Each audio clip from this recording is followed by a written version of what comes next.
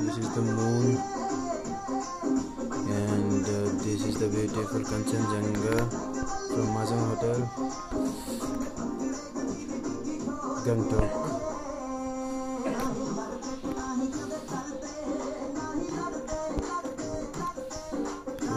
this is MC Marg Road a person traveling are staying now Mazang Hotel and this is the view from Mazang Hotel. What the beautiful